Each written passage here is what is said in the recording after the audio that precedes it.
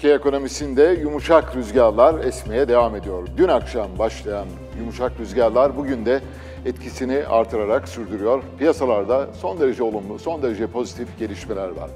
Bütün bu gelişmelerin üzerine Cumhurbaşkanı Erdoğan'ın bugün yaptığı konuşma var. Cumhurbaşkanı Erdoğan'ın yaptığı konuşma sırasında yine kur aşağı doğru geldi ve borsa yukarı doğru gitmeye devam etti. Ilımlı iklimin devamı anlamında pozitif, önemli sözler söyledi. Bunları konuşacağız. Bugünün gündemini ağırlık olarak Cumhurbaşkanı Erdoğan'ın konuşması oluşturacak. Bugün bize Top Etü Üniversitesi'nden doçent doktor Atılım Murat eşlik edecek birinci bölümde. Sonra cari işlemler dengesi açıklandı. Daha doğrusu cari açığımız tekrar artıyor. Yıllık bazda 27 milyar doların üzerine çıkmış durumdayız. Bu durumda net ihracatçı iki tane sektörü ağırlayacağız. Birazdan Çelik İhracatçılar Birliği Yönetim Kurulu Başkan Yardımcısı Uğur Dalberer bizimle olacak. Türkiye dünyanın 6 numaralı çelik ihracatçısı ve net ihracatçı konumunda, konumundayız. Daha sonra da Türkiye Hırdavat Sanayicileri Derneği Başkanı bizimle birlikte olacak.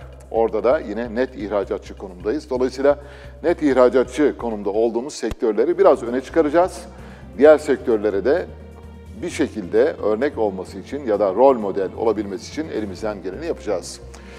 Cumhurbaşkanı Erdoğan'ın konuşması ekonominin tüm taraflarıyla yakın işbirliği halinde hareket ediyoruz. Cumhurbaşkanı Erdoğan bugün konuşmasını sadece ekonomideki dönüşüme ayırmadı. Aynı zamanda kabine revizyonu ile ilgili medyada çıkan haberleri net bir dille yalanladı. Medyada çıkan haberler şu yöndeydi. Kültür ve Turizm Bakanlığı'nın ayrılması, Hazine ve Maliye Bakanlığı'nın ayrılması, Aile Çalışma Bakanlığı'nın ayrılması gibi pek çok e, ayrım söz konusuydu. Bunların hiçbirinin olmayacağını, bu beklentilerin boşa çıkacağını, bunun sadece medyanın kendi içinde zaman geçirmek ya da hükümete bir şekilde yön göstermek için yaptığı haberler olduğunu ve asla böyle bir niyetleri olmadığını ve yeni bir kabine değişikliği de olmayacağının haberini vermiş oldu. Böylece kabine değişikliğinin sadece Berat Albayrak'a sınırlı olduğu haberiyle noktalamış oldu. Bu arada konuşması sırasında Berat Albayrak'a teşekkür etti ama Enerji Bakanlığı'ndaki çalışmaları daha çok öne çıkararak teşekkür etti. Üç tane sondaj gemisi, iki sismik araştırma gemisinin alınmasında Berat Albayrak'ın önemli katkıları olduğunu söyledi ve hastalığı gerekçesiyle Berat Albayrak'ın görevden affedilmiş olduğunu da bir kez daha hatırlattı. Ilımlı rüzgarlar ya da iyi rüzgarların bugün etkisini gösterdiği birçok sektör var. Onlardan bir tanesi borsa. Borsa İstanbul tüm zamanların rekorunu kırdı. 1247 puandan kapattı ve bir de hacim rekoru vardı. 53.5 milyar liralık bir hacimle kapattı. Bu da önemli bir rekor. Erdoğan'ın açıklamaları sonrası dolar TL 8'in altına indi. 7.88 şu an itibariyle geldiğimiz noktayı göreceğiz. Üstelik de Erdoğan konuşurken bu aşağı doğru gidiş devam etti. Bu da Cumhurbaşkanı'nın piyasalara olumlu mesajlar verdiği anlamına geldi ya da piyasaların Cumhurbaşkanı mesajlarını doğru okumaya başladığını görüyoruz. Türkiye'nin risk primi de bu arada 8 ayın en düşük seviyesine kadar geldi. 500'lerin altından aşağıya doğru gelmeye devam ediyor. Fransız Bankası, Societe Generale, Erdoğan'ın açıklamaları sonrası Türk lirası tavsiye etti. Uzunca bir aradan sonra bir yabancı banka Türk lirası alın demeye başladı. Türk lirasının alın mesajıyla birlikte Türk lirasının değerlenme hızı devam ediyor. Bakalım önümüzdeki günlerde aynı mesajlar diğer bankalardan da gelecek mi ya da Societe General bu alım tavsiyesini sürdürecek mi? Bunu 19'una kadar sürdürebilir. 19'undan sonra alınacak kararlara göre yeni kararlar alınabilir ya da gelebilir. Şekip Avdagiç, İstanbul Ticaret Odası Başkanı, Cumhurbaşkanımızın açıklamaları ekonomide atılımın köşe taşları olacak diye Cumhurbaşkanı'na verilmiş bir destek mesajı. Son derece normal. Böylesi günlerde destek verilmesi gerektiğini düşünüyoruz. İyi mesajlara destek verilmesi halinde daha iyi mesajların gündeme gelmesi söz konusu olabilecek. Bankacılık Düzenleme ve Denetleme Kurulu yabancı bankalara swap limitlerinde değişiklik yaptı. Yabancı bankaların swap limitlerini artırdı. Ama bir süre önce yabancı bankaların swap limitlerini kısıtlayan BDDK da aynı BDDK, bugün artıran da aynı BDDK. Aynı başkan, aynı yönetim kurulu üyeleri, aynı kilit personel, iki ayrı karar ve çok kısa bir zaman dilimi içinde gerçekleşiyor. Demek ki kararlar alınırken ekonominin gereklerine göre değil, talimatlara ve buyruklara göre hareket ediliyormuş. Sadece BDDK'nın kararına bakarak bile bunu söylememiz mümkün olabilir. Yanlıştan dönüldüğünün habercisi olarak söylüyorum. Christine Lagarde, Avrupa Merkez Bankası Başkanı, teşviklerin miktarı kadar süresi de önemli diyor.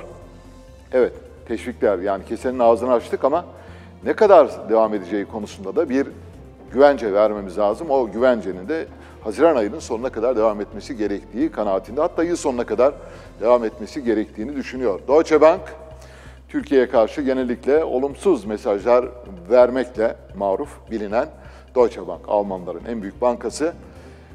Lütfi Elvan'ın açıklamaları umut verici diyerek ekonomiye bir destek mesajı gönderdi. Avrupa'nın en önemli bankasından gelen bu mesajda tıpkı Societe Generale'in Türk lirası alın mesajı kadar önemli bizce.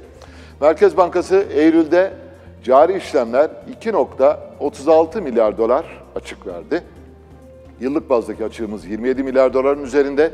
Yeniden fazla açık veren bir ekonomiye doğru evrilirken şu anda gelen müdahalelerle bu açığın giderek yavaş yavaş kapanmaya başlayacağını düşünüyoruz.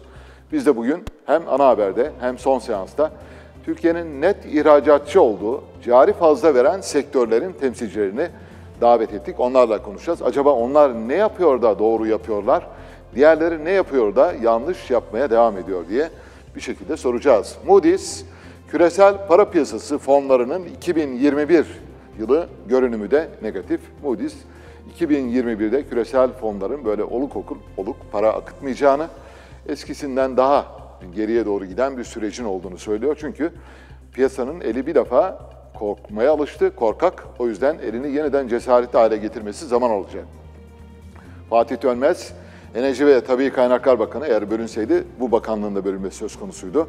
Enerji ve Tabii Kaynaklar diye iki bakanlık bekleniyordu. Cumhurbaşkanı bunu net bir dille yalanladı.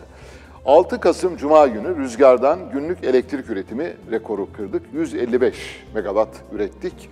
Bu bir tarihi rekor ama çok önemli bir tarihi rekor değil. Sadece rüzgar enerjisinden elektrik üretmeye başladığımızın ipuçlarından bir tanesi ama süreklilik göstermesi halinde ya da artması halinde daha önemli olacak.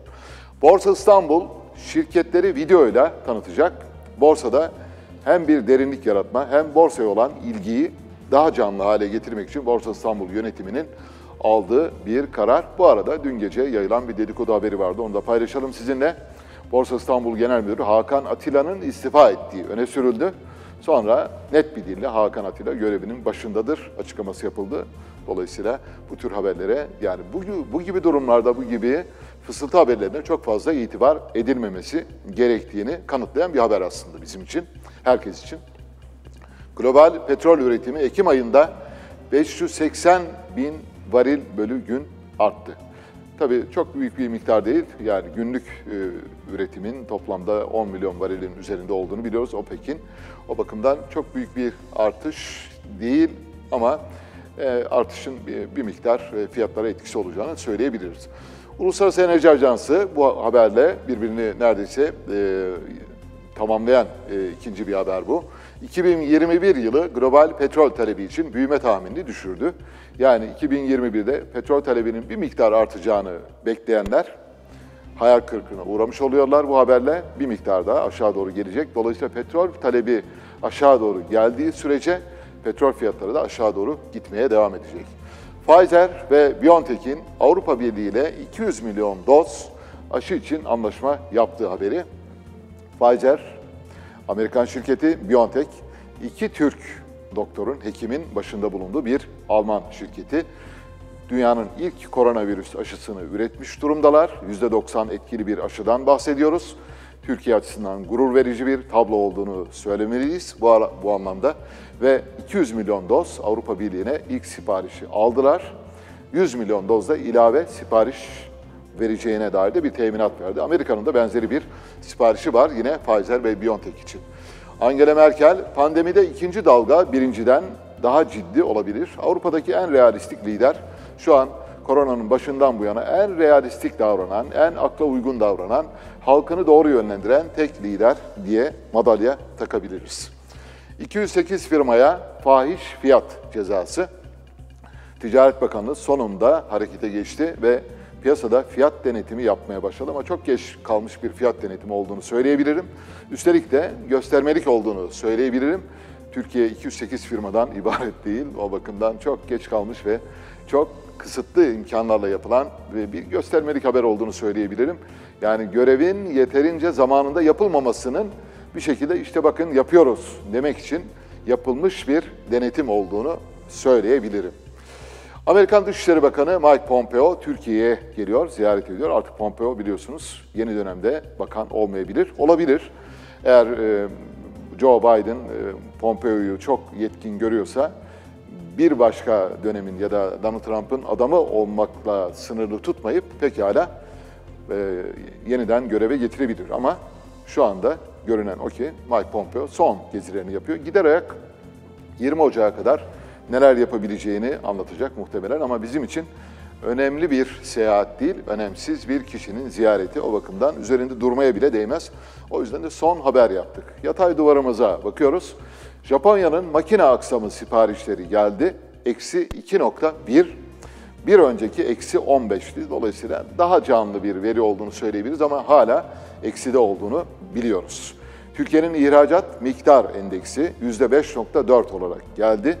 Bir önceki eksi 6.8'di. Bir miktar yukarıda iyi bir veri ama çok daha yüksek bir veri bekliyorduk. Güney Kore işsizlik oranı %4.2, beklenti 3.6. İşsizlik oranı giderek yükseliyor. Rusya'nın ticaret dengesi Eylül ayında 10 milyar doların üzerinde fazla verdi. Büyük bir rakamdan bahsediyoruz. Beklenti bunun biraz altındaydı, yarısına yakın civardaydı. Amerika'nın ham petrol stokları eksi 5.147 milyon varil olarak gerçekleşti. Beklenti çok çok daha az seviyelerdeydi.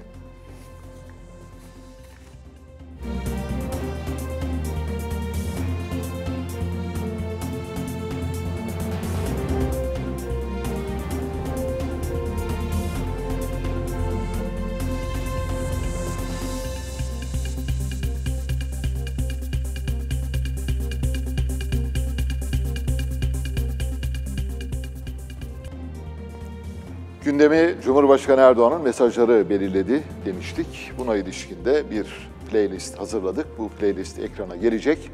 Ana başlıklar halinde Cumhurbaşkanı'nın 5 önemli mesajını öne çıkarıyoruz biz. Bu arada Cumhurbaşkanı'nın bugün verdiği kabine revizyonuyla ilgili haberin de son derece önemli olduğunu, Türk medyasının bu gibi durumlarda olmadık haberlere sarılmasının bir sonucu olduğunu Cumhurbaşkanı'nın ağzından, dilinden duymuş olduk. Türk medyası maalesef hükümetleri yönlendirme konusunda olağanüstü istekli her dönemde. Bu dönemde de aynı isteği duyuyor. Ben bu haberler yapıldığı zaman dedim ki yani kendi e, çevremizde asla bir kabine revizyonu yok dedik. Ama bakanlık bekleyen, AK Parti içinde bakanlık bekleyen ve muhtemelen gardıroplarında bakanlık kostümleri hazır olan bir sürü insan var. Bunların beklentilerinin habere dönüştürülmüş biçimi olduğu için Cumhurbaşkanı ikiye ayrılması beklenen dört ya da beş bakanlık var. O bakanlıkların hiçbirinin ikiye ayrılmasını düşünmediğini söyledi ve yeni bir kabine revizyonunun da gündemde olmadığını söyledi. Bunlar medyanın kendi kendine yazdığı haberlerdir dedi. Katılıyorum. Medya bu konuda biraz e, kantarın topuzunu zaman zaman kaçırıyor. Peki Cumhurbaşkanı mesajları çerçevesinde konuşacağız ve Skype hattımızda Top Etü, Türkiye Odalar Borsalar Birliği Ekonomi Teknoloji Üniversitesi öğretim üyesi doçent doktor Atılım Murat var. Atılım Bey hoş geldiniz. Ali Bey iyi akşamlar, hoş bulduk. Çok teşekkürler. Ee, tabii sizi politik konuların içine çekmemeye çalışacağım ama Cumhurbaşkanı'nın bu kabine revizyonu ile ilgili verdiği net mesaj benim çok hoşuma gitti şahsen. Yani bu tür haberlerin medyanın böyle habersiz kaldığı zaman yaptığı haberler olduğunu biliyoruz. Bu bir. iki. Bu haberlerin aynı zamanda belli kaynaklar tarafından yönlendirilen haberler olduğunu da biliyoruz. Kim onlar? Onlar da AK Parti içinde bakanlık sırası gelmiş, bakanlık kuyruğuna girmiş, evdeki aile halkına ben de olacağım galiba bakan falan gibi sözler veren insanların ürettiği haberler diye düşünüyorum. Hiç öyle bir ihtiyaç içinde değiliz. Yani neden Hazine ve Maliye Bakanlığı yeniden e, bölünsün? Neden Kültür ve Turizm Bakanlığı yeniden bölünsün? Neden Enerji ve Tabii Kaynaklar Bakanlığı yeniden bölünsün? Neden Çalışma Bakanlığı ile Aile Bakanlığı yeniden bölünsün? Hiç gerek yok. Çok sayıda bakanlık, çok sayıda bürokrasi demektir. Ben böyle düşünüyorum. Bilmiyorum sizin yaklaşımınız nedir? Girmek isterseniz tabii. Girmek istemezseniz normal gündemimize devam edeceğiz. Buyurun. Yok yok birkaç cümle etmek isterim izin verirseniz. Buyurun. E, Pazar akşamı gerçekten hani Hazine ve Maliye Bakanı e, eski Hazine Maliye Bakanı Berat Albayrak istifasından sonra tabii ciddi bir bilgi kirliliği vardı. İşte e, kabine listeleri geliyor, WhatsApp gruplarından, sosyal medyadan. Yani sadece kabine revizyonuyla ilgili değil. Hatta e, Hazine ve Maliye Bakanı'nın işte potansiyel adaylar kim olabilir? Evet. Özel sektörden, özel sektörden bankacıların isimleri, akademisyenlerin isimleri kaldı ki yani şimdi ben o konuda bir şey e, bir, bir iki cümle etmek isterim. Ben bugünkü yazımda onu vurguladım zaten dünyadaki yazımda da. Yani şimdi mesela e, bu, bu kadar büyük bir bakanlık için yani Hazine ve Maliye Bakanlığı için yani bir bankacı olmaz. Yani veya bir akademisyen de olmaz. Çünkü örneğin şöyle bir şey var. Mesela e, e, Merkez Bankası'nın yeni başkanı Naci Ağbal e, Maliye Maliye'nin eski bakanı. Evet. Sonuç olarak zamanında ona Sayın Bakanım diyen bankacılar bir bankacıyı getirip Hazine ve Maliye Bakanı yaptınız diyelim. E Evet. şimdi o zaman Naci Ağbal'ın yönettiği Merkez Bankası ona mı bağlı olacak? Zamanında Sayın Bakanım dediği insana e, ona mı bağlanacak? Yani onun için e, dediğim gibi çok bir bir bilgi kirliliği vardı. Size katılıyorum. Ama işte bugün e, Cumhurbaşkanı Erdoğan da noktayı koydu zaten bunları. Evet. Bence de doğrusu da bu. Hatta e, yeni e, Cumhurbaşkanı hükümet sisteminde bakanlık sayısının azaltılmasını da ben e, yani ben derken bizim gibi düşünenler çok olumlu karşılamıştı. Çünkü ne kadar çok bakanlık o kadar çok bürokrasi. Hatta bugünkü bakanlık sayısının bile çok olduğunu düşünüyorum ben. Yani mümkün olabilse, yapılabilse, başarılabilse bu bakan örneğin Sanayi, Teknoloji ve Ticaret Bakanlığı'nın e, birleştirilmesi söz konusu olabilir. Yani çok fazladan bürokrasi yaratma dışında başka bir şeye yaramıyor. Çünkü şöylesi bir şey var Atılım Bey. Siz tabii bürokrasiyi Ankara'dan daha iyi görüyorsunuz. Ben de uzun yıllar Ankara'da parlamento muhabiri yaptığım için biliyorum. Böyle köşe taşlarını, köşe başlarını tutup oraları ölümüne savunmak gibi bir yaklaşım içine giriyor bürokratlar. Bizim de bakanlığımız olsun, biz de ayrı. Mesela Gümrük ve Ticaret Bakanlığı değil mi? Şimdi yok. Evet. Evet. Yani Ticaret Bakanlığı diye bir şey var. Gümrük onun içinde bir şey olarak, e, e, departman olarak idare ediliyor. Oysa geçmişte biz gümrükçüler, biz ticaretçiler diye böyle bürokrasi kendi içinde ciddi bir savaş veriyordu. Bu savaşa yol açtığı için ben söylüyorum. Şu anda mesela birleştirilmesi gereken hala birkaç bakanlık olduğu kanaatindeyim. Tabii bunu Cumhurbaşkanı'na sunma noktasında değiliz ama ben birkaç bakanlığın daha birleştirerek azaltılma yoluna gidilmesi gerektiğini şahsen savunuyorum. Sonuna kadar böyle olması gerektiğini düşünüyorum. Çok bakanlık demek çok e, iş üretimi anlamına gelmiyor. Japonya nüfusu bizden e, kat ve kat fazla 120 milyon nüfusu var. Japonya'da bakanlık sayısı 11. Dolayısıyla yani 11 bakanlıkla Japonya yönetilebiliyorsa Türkiye'de pekala 7-8 bakanlığı yönetilebilir diye düşünüyorum. Peki derdimizi anlattık herhalde. Herkese de bu mesaj gitti diye düşünüyorum. Şimdi ekrana geliyor tam ekran. Cumhurbaşkanı'nın mesajlarını konuşacağız. Satır satır gidebilirsek sevinirim. Bir defa bu faiz sebep enflasyon neticedir. Cumhurbaşkanı bu söylemini terk etmiyor. Fakat bu söyleminin hemen arkasına şunu eklediği için bu söylemini kabul edilebilir buluyoruz. Dedi ki, evet dedi, durum budur fakat Merkez Bankası'nın arkasında duracağız dedi. Bu şu anlama geliyor. Ben böyle düşünüyorum, buna inanıyorum. Bunun gerçekleşmesini istiyorum. Yaklaşımım bu, inancım bu ve evet belki çok fazla günün gerekleriyle bağdaşmayan bir şeyden bahsediyorum ama faizle ilgili mücadelem devam edecektir diyor. Burada söylemek istediği bu ama Merkez Bankası'na da müdahale etmeyeceğini çok açık net bir dille söyledi. Ve bu söylemden sonra çok ilginçtir. İlk defa çok uzun bir süredir Cumhurbaşkanı konuştuğunda kur aşağı doğru gitti, borsa da yukarı doğru gitti. Yani borsa ve kur için Cumhurbaşkanı çok idealize edilmiş bir konuşma yaptı diye düşünüyorum. Önce faiz sebep enflasyon neticedir ama Merkez Bankası'nın arkasındayız söylemini yorumlamanızı istiyorum. Şimdi şöyle, eğer cımbızla alırsanız e, Cumhurbaşkanı uzun süredir dile getirdiği bir cümledir bu. Yani Evet. faiz sebep enflasyon neticedir. Ama belirttiğiniz gibi sonrasında Merkez Bankası'na tam destek vereceğim, Merkez Bankası'nın yeni başkanına ve işte Hazine ve Maliye Bakanı deyince piyasa rahatladı. Yani dediğim gibi eğer ilk cümleye bakarsanız yani sizin aldığınız ilk cümleye bakarsanız piyasa olumsuz bir sinyal de verebilirdi, olumsuz Tabii. şey de verebilirdi ama fiyatlamaya baktığımız zaman demek ki piyasa ona takılmamış. Merkez Bankası'na desteğin verileceği şeklinde algılamış ki işte dolar TL'deki hareketlerde, diğer TL cinsi varlıklardaki hareketlerde bunu gördük ve Merkez Bankası'na destek sürecek derken de tabii ki piyasa işte 19 Kasım'daki toplantıda e, bir faiz arttırımını fiyatlıyor, bekliyor. E, Erdoğan'dan da uzun süre e, sonra bu tarz yapıcı bir konuşma gelince yani çünkü satır satır incelemek lazım Ali Bey. Ben hatta e, ana başlıkları gördükten sonra AK Parti'nin web sitesine girip bütün metni tekrar okudum, konuşmayı tekrar okudum. Yani çok önemli sinyaller var. Uzun süredir e, Cumhurbaşkanı Erdoğan'dan hiç bu kadar yapıcı bir e, şey görmemiştik, e, ifadeler duymamıştık. Evet, hakikaten e, ben de yani böyle biraz e, şaşkınlıkla dinledim desem yeridir. E, bu kadar pozitif mesajlar vereceğini sanmıyordum. Hatta böyle konudan bağımsız, bağlantısız, bağlamdan kopuk bazı şeyler söyleyebileceğini de düşündüm. İşte her konuşmasında böyle ana akstan çıkıp başka konulara geçmeyi çok seviyor.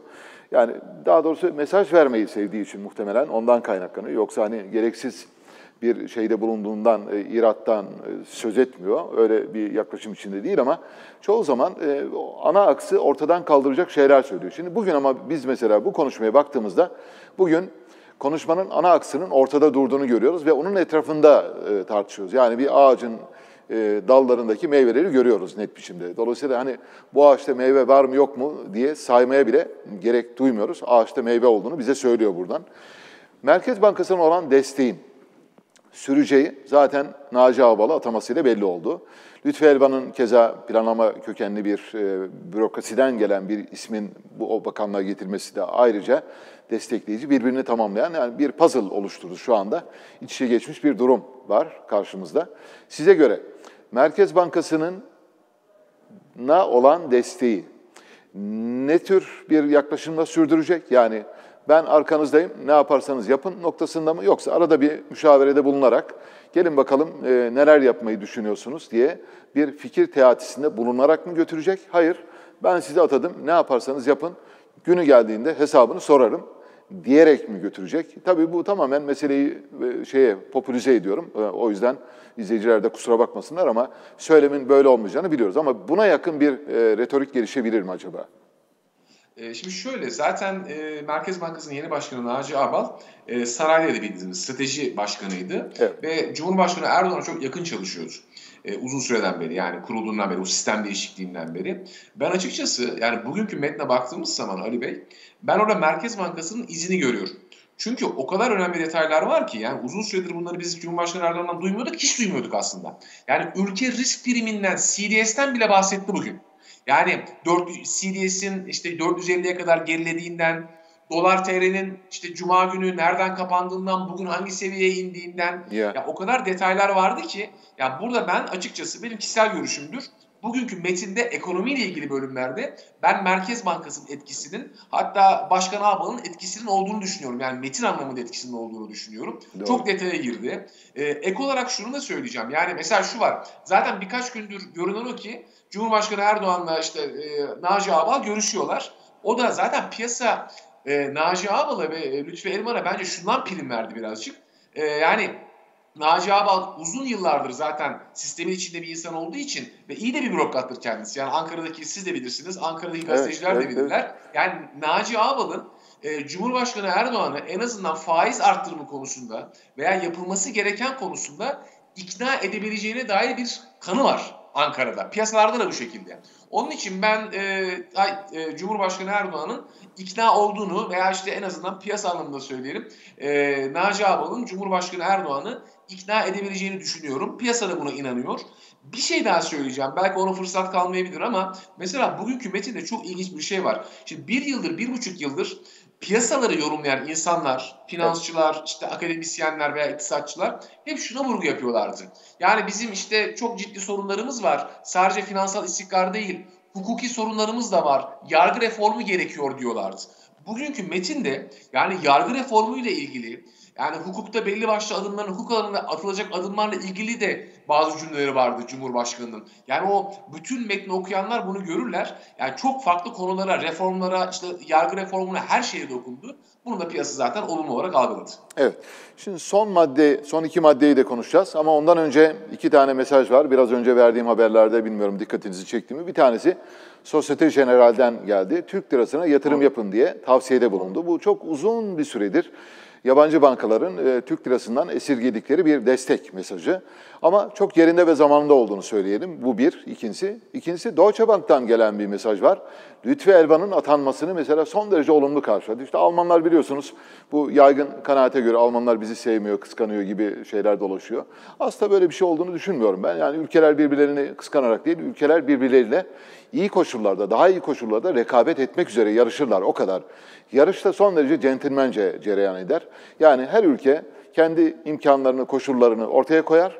Diğer ülkenin imkan ve koşullarına göre kendini bir konumlandırmaya sevk eder. O konumlandırma içinde eğer başarılı olursa o ülkeden daha iyi noktaya doğru taşıyabilir. Aksi halde başarısız olmamız kaçınılmaz. Şimdi Deutsche Bank dün bizimle çok iyi ilişkiler kurmadığı ya da bize karşı hasmane davrandığı iddia edilen yabancı bankaların bugün geldiğimiz noktada bize karşı dostane davranmış olmaları bir e, realitenin sonucu mudur? Yoksa hayır işte piyasa zaten onlara bunu söylüyor. Onlar da o piyasanın gereklerini yerine getiriyorlar. Yani işin içinde bir bir e, gizli gündem, bir gizli ajanda aramak gerekir mi arada bir zaman zaman?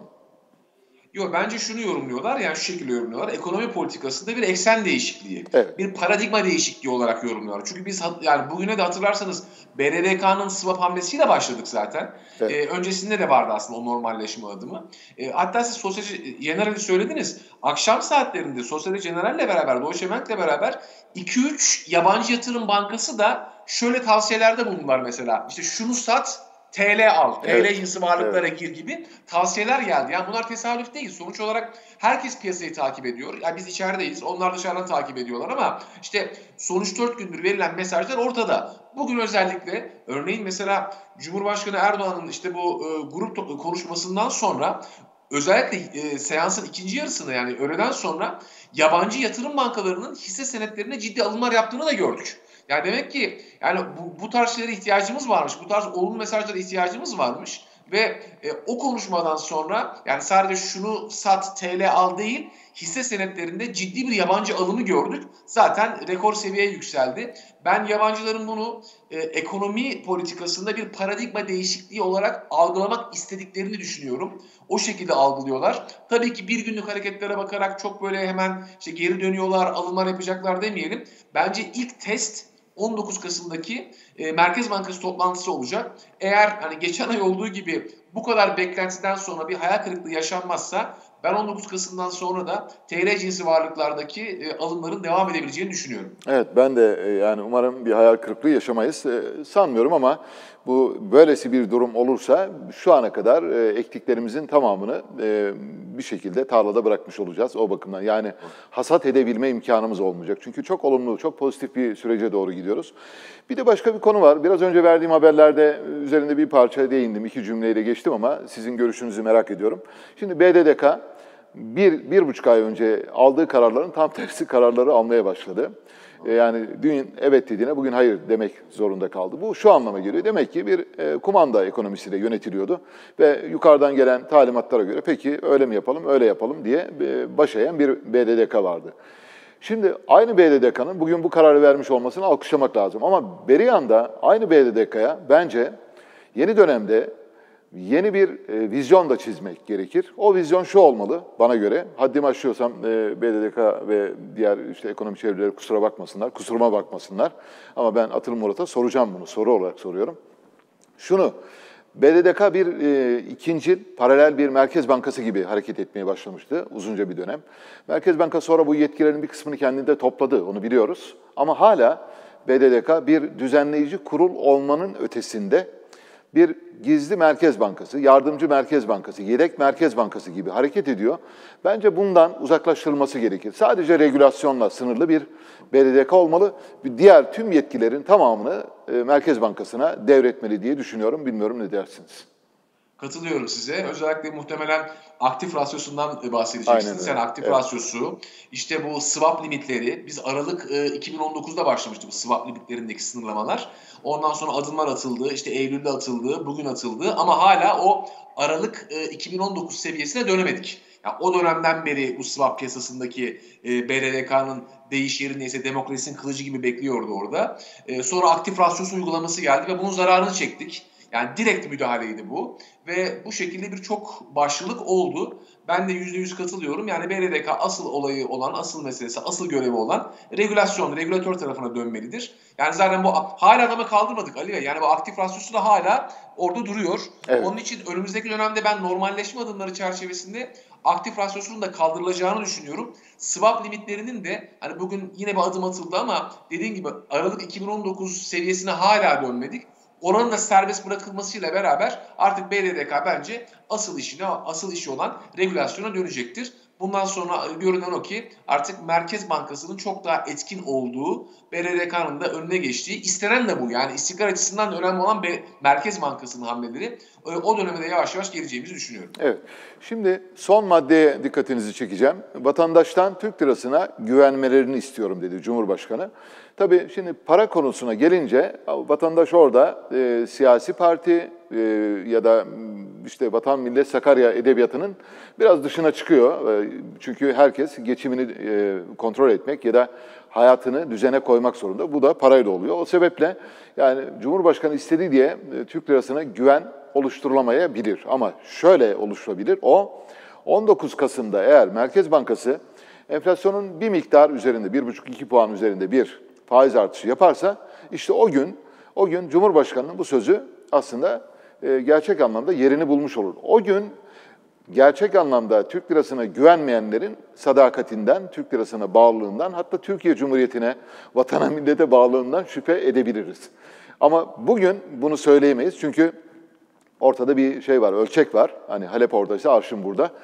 Bu durumda Merkez Bankası bu hamleyi yapıncaya kadar Türk lirasına bir güven oluşacağını düşünüyor musunuz? Yani 19 Kasım'a kadar Türk lirası bir şekilde güçlenmeye devam eder mi? Yoksa hayır bir yatay seyre girer ondan sonra kararı bekler sonra harekete geçer mi diye düşünüyorsunuz? Ee, Ali Bey önce şunu söyleyeyim. Mesela e, bu açıklamaları bütün halde düşünmek gerekiyor. Evet. Mesela belki iki hafta önceki, üç hafta önceki grup toplantısında da Cumhurbaşkanı Erdoğan tam hatırlayamıyorum şimdi ama hani vatandaşlarımızdan TL'ye güvenmelerini istiyorum. İşte dolardan ziyade başka evet. e, para birimlerinden ziyade TL'ye girsinler demiştir. Yani hatırlıyorum ama tam tarihi hatırlayamıyorum tabii ki. Ama işte Merkez Bankası'na gereken desteği vereceğim şeklinde bir bütün halinde geldiği zaman anlam kazanıyor bu. Çünkü dediğim gibi birkaç hafta önce de gene TL'ye güvenmeni istiyorum demiş olabilir Cumhurbaşkanı Erdoğan. Ama o zamandan itibaren işte yani son 3-4 aydır yükselişi biliyoruz. Şimdi seviyeye geldiğimiz zaman hatırlarsanız yani bu ıı, iki hafta önce Merkez Bankası'ndan işte faiz artış beklentisi varken o toplantı öncesinde kur zaten 7.78'di. Yani evet. faiz artacak beklentisiyle 7.78'di. Tabii. Şimdi şu an ekranda görüyoruz 7.81. Yani o 7.78'in üzeri aslında balondu, köpüktü. Yani 8.5'a kadar çıktık. 8.50'ye, 8.52'ye kadar. Şu an işte tekrar o e, toplantı öncesine, toplantıdan birkaç saat öncesine döndük. Oralardayız 7.81. Hatta bir şey daha söyleyeyim. E, Eylül toplantısında beklentilerin dışında politika faizi 200 bas puan arttırıldıktan sonra kur 7.51'di. Evet. Yani 7.51'e kadar düşmüştü aslında. Demek ki 7.51'den sonra yaşananlar işte 8, 8.5 vesaire bunlar aşırı hareketlerdi. Taksimetre yazmaya devam etti ve ben hani hemen yarın mı ineriz öbür gün mü tam şey yapamıyorum ama toplantıya doğru biraz daha gevşeyebileceğimizi düşünüyorum. Çünkü bu kadar mesajdan sonra artık herhalde hayal kırıklığı yaratılmaz ve e, yani 7.5-8 bandında belki 7.5'un da altına sarkabileceğimizi düşünüyorum yıl sonuna kadar. Ama dediğim gibi şeye kadar 19 Kasım'a kadar işte 7.70, 7.80 buralarda gidip gelen bir kur görebiliriz. Peki. Cari açıkla ilgili bir grafiğimiz var. O gelecek. 3 dakika kadar da cari açığı konuşacağız. Sonra e, reklama gideceğim. Veda edeceğiz size. Son 2 yıl Türkiye cari işlemler dengesini gösteren bir grafiğimiz var. Yani geldiğimiz nokta itibariyle 27 milyar dolar 12 aylık bazda cari açık veriyoruz.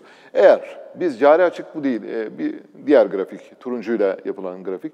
Eğer biz cari açık vermeye devam ediyorsak ki veriyoruz şu anda, negatif reel faizi olan bir ülkenin, cari açık veren bir ülkenin negatif reel faiz vermeye hakkı yoktur bir defa. O böyle yavaş bir intihardır bana göre.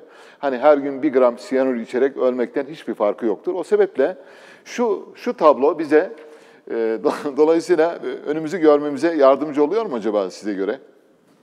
E, şimdi şöyle mesela bu Eylül ayı verisi e, evet. Ali Bey. Tabii. E, Ekim ayı için mesela Ticaret Bakanlığı'nın öncü verileri açıklandı. Yani Ekim ayında mesela ihracat 17,3 milyar dolar, ithalat da 19,7 milyar dolar olarak açıklandı evet. Ekim ayı için. Yani görünen o ki Ekim ayında da 2,5 milyar dolar civarında, 2,6 milyar dolar civarında bir açık var.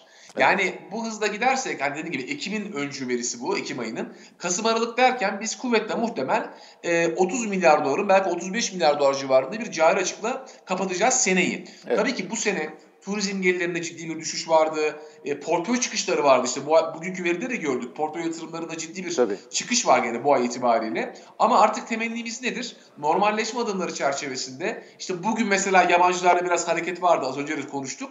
Yani önümüzdeki dönemde yabancı yatırımcıyı muhakkak ikna etmek zorundayız. Yani ve kaldı ki işte pozitif reel faiz vererek de yerli yatırımcıyı ikna etmeliyiz. Yani yerli yatırımcı dövizlerini bozduracak eğer pozitif reel faiz gelirse alırsa yerli yatırımcı yabancı yatırımcı e, olası reformlarla bu sinyallerle işte daha iyimser bir şekilde gelebilir. Evet. E, 2021'in turizm açısından iyi geçeceğini düşünüyoruz. Ama hani bu yılı zor kapatacağız, kötü kapatacağız cari açık açısından. Ama 2021 en azından e, çok daha iyi geçebilir. E, hem turizm gelirlerindeki artış, ihracat pazarlarındaki toparlanmayla beraber. Peki Atırım Bey çok teşekkürler katıldığınız için. Böylece bu bölümü kapatıyoruz. Reklama gidiyoruz. Reklamdan sonra cari fazla veren ve net ihracatçı olan iki sektörü ağırlayacağız. Önce birini sonra da son seansta ötekini ağırlayacağız. Reklamdan sonra.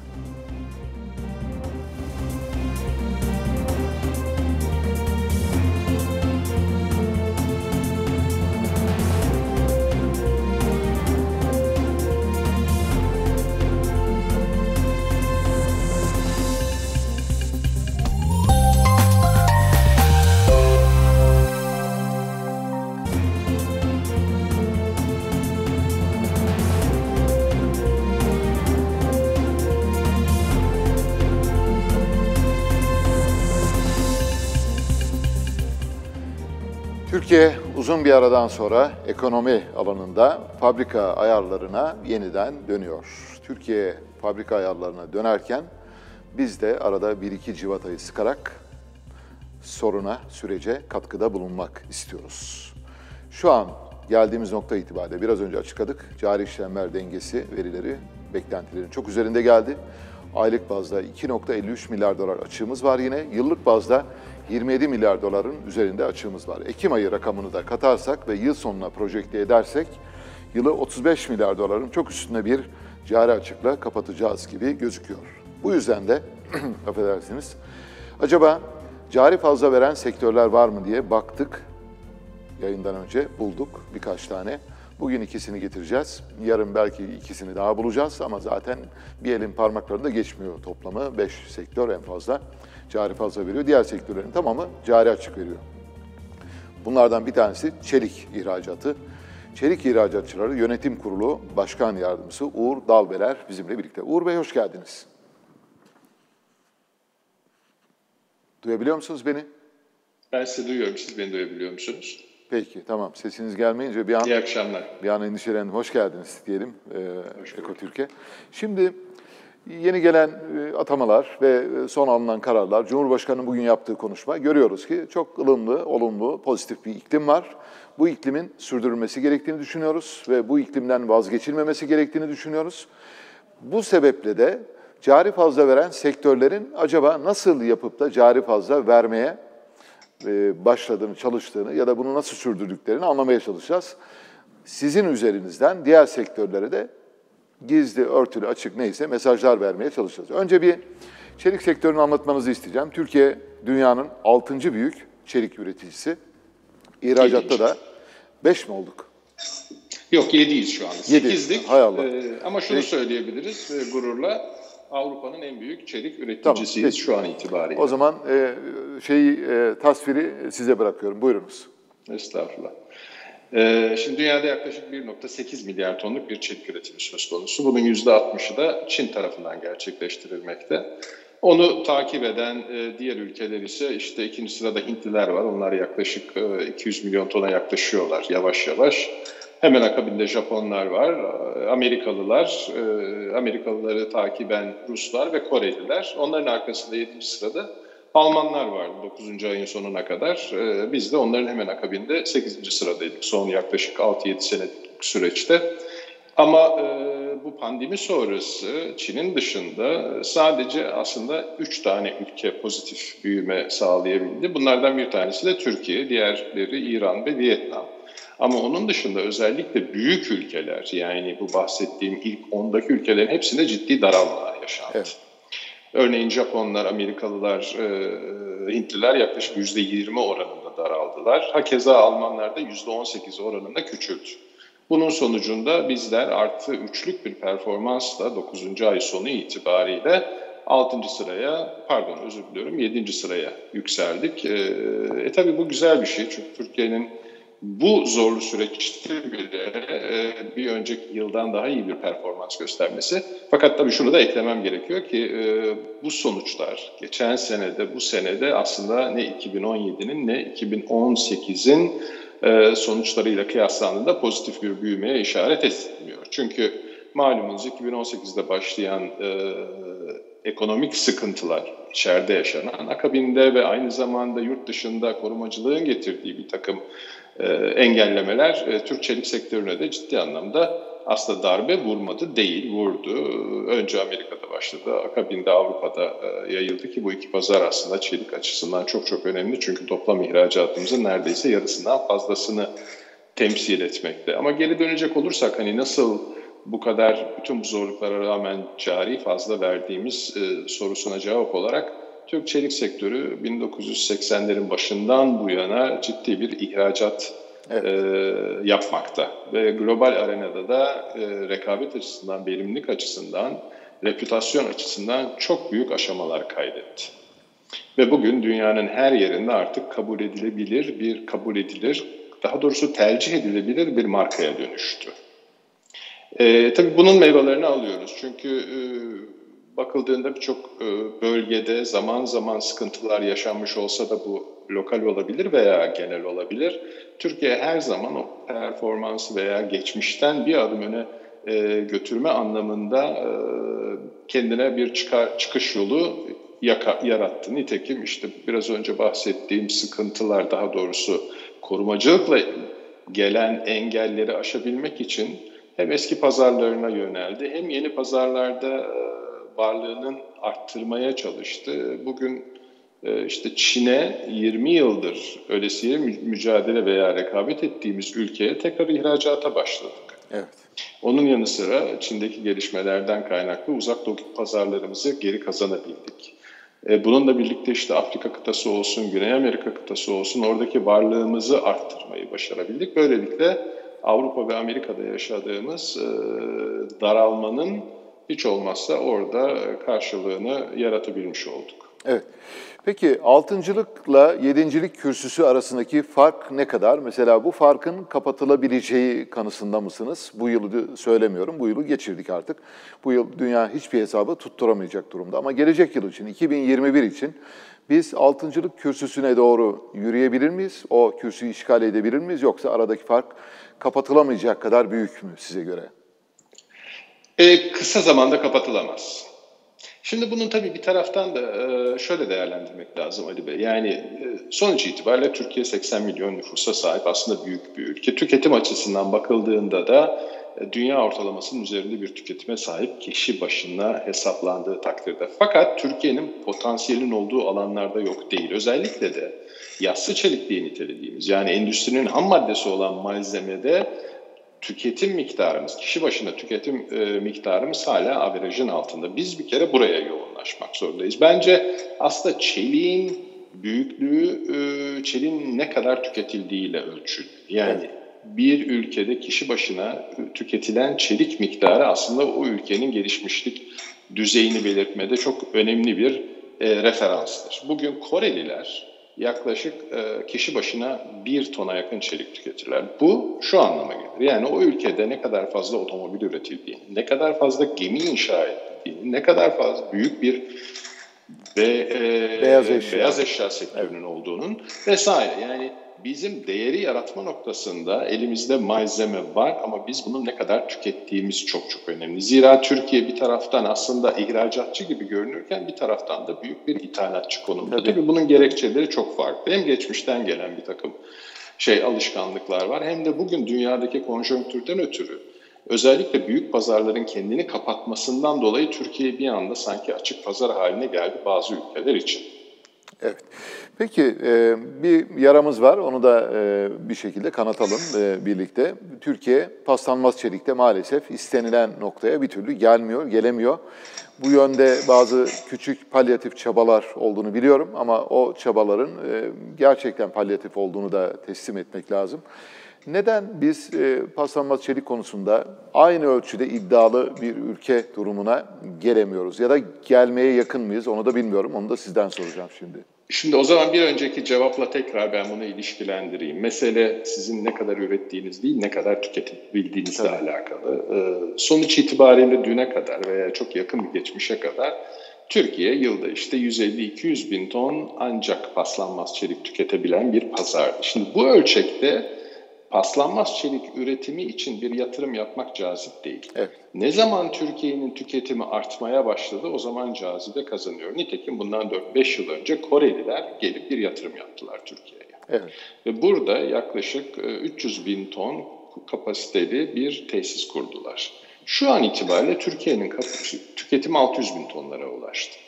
Ve birden artık paslanmaz çelik anlamında yatırım yapılabilir bir noktaya ulaştı. İşte bazı haberler alıyoruz. Tayvanlılar geldiler. Onlar bir ufak yatırım yapıyorlar. Fakat bundan daha önemli olan şey Türkiye'de paslanmaz çeliğin ham maddeden başlayarak üretilmesidir. Biz Çolakoğlu Metalürji olarak geçtiğimiz ay ilk üretimi yaptık. Bu tabii ki daha henüz ticari anlamda bir ölçek olmasa da bu ilk adımdır. Önümüzdeki ay ikinci e, partiyi üretmiş olacağız ve hedefimiz 2021 yılında 10-15 bin tonluk bir üretime ulaşmak. Şimdi bunlar tabii 600 bin tonla kıyaslandığı zaman çok ufak gibi görünüyor olsa da orta vadedeki hedefimiz Türkiye'de var olan bir ham madde miktarı var. Daha doğrusu bir hurda miktarı var. Bunu tekrar paslanmaz çeliğe dönüştürebilmek. Bunun karşılığı 150 bin tondur. Bakıldığı zaman 1 e, milyar dolara yakın bir döviz tasarrufundan bahsediyor olabileceğiz çok kısa zaman içerisinde. Dediğim gibi Türkiye daha düne kadar 5-10 milyon ton çelik üreten bir ülke iken bugün 7. büyük üretici olarak konumlandı.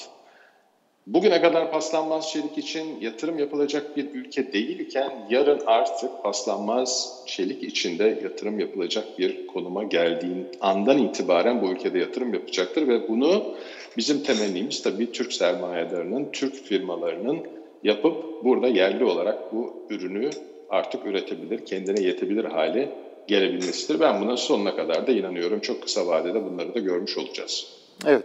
Tam ben sormak istiyordum. Siz de söylediniz. Yani hedef burada amaç e, yerli üreticinin e, bu pazara girip pazarı domine etmesi ama e, tabii sizin o küçük, şimdilik küçük gözüken üretiminiz ileride muhtemelen birkaç kat artırılabilecek durumda kapasiteyi bilmiyorum. Evet.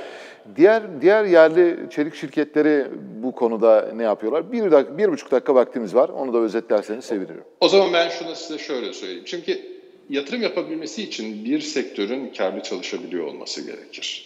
Karlı çalışabilmesi için de belli sürelerde özellikle ilk adılan atımlarda biraz desteğe ihtiyacı vardır. Destekten kastım aslında maddi anlamda değildir. Bugün baktığınızda Amerikan çelik sektörü çok ciddi bir sıkıntı çekerken buna el atılıp belli bir süre içinde korumaya alındığı ve sonucunda bugün Amerikan çelik sektörü ciddi anlamda yatırıma tekrar başladı ve Avrupalı da aynı şeyi yapıyor. Şimdi siz dışarıdan gelen ataklara karşı çaresiz ve savunmasız olursanız bu tabii sizin yapmış olduğunuz işin sonunda bir kar yaratamaz ise o zaman sizin yatırım yapma gücünüz ortadan kalkar. Eğer biz sektöre gerekli özeni gösterirsek, evet. haksız rekabete karşı onu koruma e, ortamını yaratabilirsek zaten bu sektör yaratacağı sermayeyi tekrar aynı alanda üretime, kaliteye, farklı ürünlere dönüştürecektir. Bundan hiç şüpheniz olmasın. Nitekim bugüne kadar geçen süreçte de zaten sektör bunu defalarca kanıtlamıştır. Evet, peki. Uğur Bey çok teşekkürler. Size teşekkür başarılar ediyorum. diliyorum e, bu alanda. Yani umudumuz ve geleceğimiz aslında çelik sektöründe çok e, parlak gibi gözüküyor. Bakalım önümüzdeki dönemde yani paslanmaz kapasitesini de yukarı doğru çıkararak yerli yatırımcılar Olacaktır. marifetiyle iyi şeyler yapacağımıza inanıyorum. Siz cari fazla vermeye devam edin. E, sakın yolunuzdan dönmeyin. Anti-dumping yasalarına her şeye rağmen Amerika'nın ve pek çok ülkenin müdahalesine rağmen çok iyi bir savaş verdiğinizi biliyorum. Çok teşekkürler. Süremiz bitti yoksa biraz daha konuşturmak isterdim sizi. Böylece ana haberin sonuna geldik. Birazdan son seansta karşınızda olacağım.